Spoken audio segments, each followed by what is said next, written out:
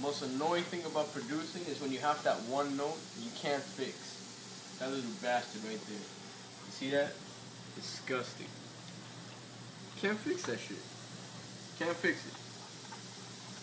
Deal with this shit all the time.